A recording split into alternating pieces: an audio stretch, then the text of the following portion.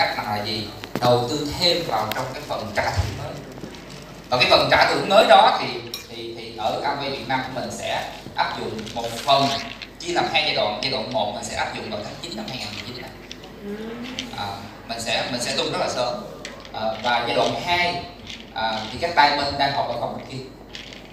Các tay mình đang học ở phòng kia.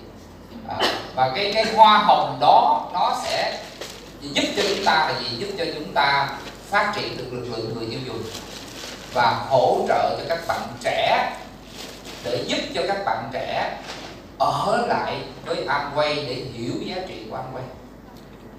Bởi vì họ phải ở trước cái đó họ phải đủ sống họ đủ đủ sống thì họ ở trước cái đó họ ở trước thì lúc đó họ mới hiểu giá trị của Amway thì họ mới phát triển được là trở thành lãnh đạo.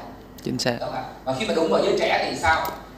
À, phải phải phải đi theo xu hướng đi theo xu thế của của, của thời đại đó là bốn không tức là kỹ thuật số đó là mạng xã hội vân vân. Thì tất cả đó là những cái định hướng của tập đoàn đang hướng đến. Mà bắt buộc Amway Việt Nam phải đi theo. Và Amway Việt Nam phải đi theo thôi. Là bởi vì sao vậy 60% dân số của người Việt của mình là giới trẻ. Đó là 20% là giới già và 20% là trẻ em. Đó mà do đó 60% đó vô cùng quan trọng trong 10 năm sắp tới. Cho đến A70 và để cho giới trẻ thì phải tạo sân chơi với giới trẻ. Và tạo sân chơi với giới trẻ và đẩy mạnh mạng xã hội. Thì mà khi mà bước vào đẩy mạnh mạng xã hội thì nhớ bốn chữ C. Nhớ bốn chữ C. Chữ C đầu tiên đó là gì? Là contact tức là cái profile, tức là bản thân của các anh chị là ai? Các anh chị phải rõ. Và các anh chị phải trở thành những người là micro influencer, tức là những người mà ảnh hưởng trên mạng xã hội. Và để ảnh hưởng thì sao? Mỗi con người, mỗi cái thế mạnh khác nhau. Do đó Artistry Star để giúp cho các anh chị củng cố về kiến thức, củng cố về kỹ năng và đi sâu về đó. Và tạo thành hình ảnh của các anh chị là những hình ảnh của những người làm đẹp những người hiểu làm đẹp và làm sao các anh chị lan tỏa một cái nhu cầu làm đẹp ở ở thế giới này sao thì vô vàng ở Việt Nam thì khủng khiếp đặc biệt là giới trẻ thì sao? Điều đầu tiên tiên quyết của giới trẻ là tôi phải đẹp. Sau đó tôi no. Đúng không đẹp trước cái đã. Đói cũng được đẹp trước cái đã. Điều đó là quan trọng. Cái nghiên cứu của institution đúng không đúng không? cái điều quan tâm của họ là cái bề ngoài cái appearance cái bề ngoài của họ cái vẻ đẹp của họ trước khi mà họ nghĩ đến những cái khác yes. Và mình đang kinh doanh artistry đó. Thì cái đó là cái mà chúng ta phải phải phải tập trung vào. Và cái thứ hai là, là gì? Đó là cái content. Đó là cái nội dung để viết trên mạng xã hội. Và để có cái content cái nội dung viết trên mạng xã hội thì sao? Nó có nhiều cái vấn đề để viết đúng không ạ? Nếu chúng ta viết về Amway thì sao? Những người mà họ quan tâm về cái đẹp họ bỏ họ chạy hết. Chính và xác ai cũng biết về Amway hết thì thì cũng giống nhau và bởi vì cái danh tiếng của Amway bởi danh tiếng của cái ngành thì phải hiểu đủ hiểu và ở lâu với Amway để thấy được cái giá trị của Amway thì mới yêu Amway và những người yêu Amway là những người nhà phân phối của Amway chứ không phải là những người tiêu dùng. Đúng.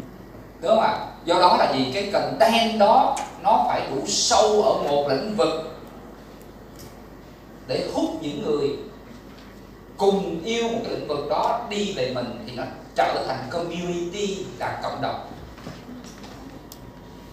Và có cộng đồng cộng đồng làm đẹp cộng đồng body key cộng đồng sáu múi cộng đồng người mẫu cộng đồng đủ thứ cộng đồng. Đó là những cái cái bộ tộc cùng một cái sở thích cùng một tiêu hay và quá sao hút được những đó và từ cái cộng đồng đó ra mình lại ra được cái nội dung mình đẩy lên mạng xã hội và năm sau có 4 tỷ người sống trên mây. Ừ. 4 tỷ người trên thế giới. Và e-commerce tại Việt Nam hiện giờ doanh số của e-commerce là 9 tỷ đô la một năm. Và tốc độ tăng trưởng là 30 phần trăm. Ghê thiệt. 30 phần trăm. Dám ăn à. LG mới vừa mua Avon nhưng không lo chừng nào Alibaba và Amazon mua Avon mới sợ. Đúng không? Tại vì sao vậy? Nếu Alibaba nó mạnh về e-commerce về mạng xã hội nếu Amazon nó cũng vậy mà nó mua Avon tức là sao? Nó mua những con người của Avon. Mạng xã hội sẽ không tồn tại nếu không có con người. Ừ. con người tạo ra mạng xã hội và con người mạng xã hội đã mạnh mà nó liên kết với những con người ở đây lan tỏa ra nữa thì lúc đó mới là khủng khiếp. Thì cái đó khi mà LG nó mua thì tất cả mọi người thở phào nhẹ nhõm kể cả tất cả công ty bán hàng đa cấp trên toàn cầu thở phào nhẹ nhõm. Ôi hay quá! Không phải Alibaba nó mua. Đúng không? nhưng chưa biết coi chừng LG lại đi về hướng e-commerce đúng không do đó thì chúng ta cũng phải nhanh và khi trở thành community nó sẽ trở tất cả chúng ta có chúng ta có contest chúng ta có những cái profile của chúng ta chúng ta có những cái chuyên môn của chúng ta chúng ta có những cái cộng đồng chúng ta có những cái nội dung tuyệt vời chúng ta biết được nội dung chúng ta lan tỏa bằng nội dung chúng ta hút người đi để, để tạo thành cộng đồng nhưng for what để làm cái gì để làm cái gì nếu chúng ta không bán được hàng do đó cuối cùng chữ C cuối cùng phải là e-commerce là commerce và vẫn phải bán hàng. Và để có được bán hàng thì sao? Thì Amway phải xây dựng được cái platform đó. Thì Amway đang xây dựng đến tháng 3 năm 2020 sẽ xong.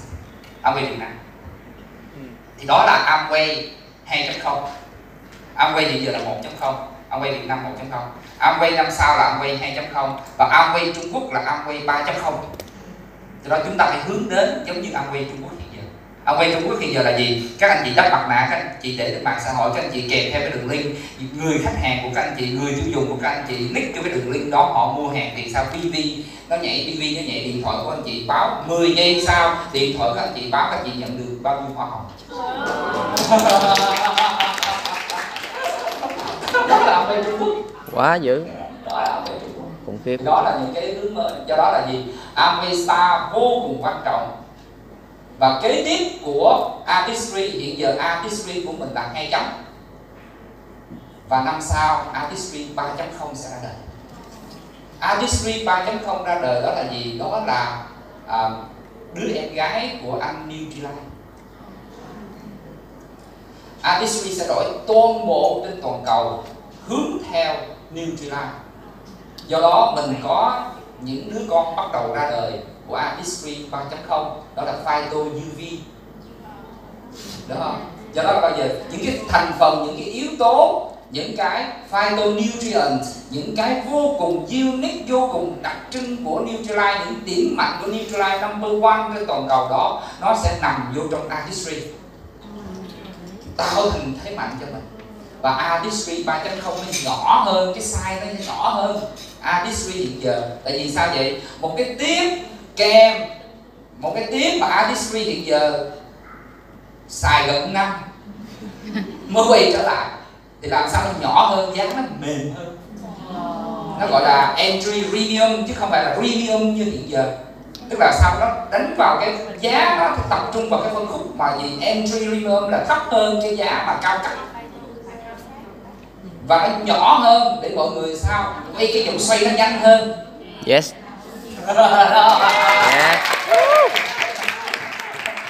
hay đó quá anh là những cái chiến lược năm năm sắp tới. Do đó là sao? Hãy nhanh bổ sung kiến thức và kỹ năng cho mình.